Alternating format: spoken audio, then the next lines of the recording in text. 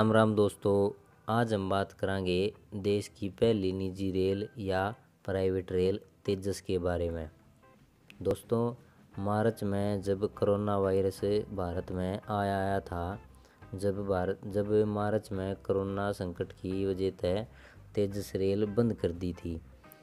पर दोस्तों, ईब स्थिति काबू में हुई है तो रेलवे ने यो फैसला कराया है कि तेजस एक्सप्रेस की सर्विस दोबारा चालू करी जा। दोस्तों, रेलवे ने यह फैसला किया है कि जो लखनऊ ते नई दिल्ली और अहमदाबाद ते मुंबई जो सर्विस है तेजस की, वह दोबारा चालू करी जा। दोस्तों, तेजस एक्सप्रेस सत्रह अक्टूबर तय पटड़ी पे फिर दौड़ती दिखाएगी यह सर्विस स्वास्थ्य विभाग ने जो ज़रूरी दिशा निर्देश दिए हैं उनके तहत चलाई जाएगी जुकर, मास्क लगाना, ज़रूरी दूरी बनाए रखना और बार बार हाथ धोना।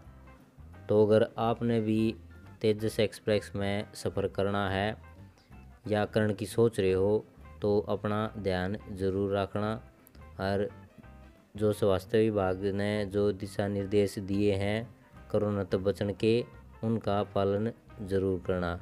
तो दोस्तों यह थी, भारतीय रेलवे से जुड़ी एक ज़रूरी जानकारी यह जानकारी आपने किसी लागी लाइक कर कमेंट करके ज़रूर बताइयो।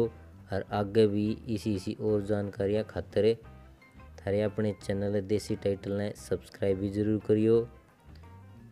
और आप हमारा फेसबुक पेज लाइक भी ज़रूर करियो, जिसका नाम नीचे डिस्क्रिप्शन बॉक्स में है।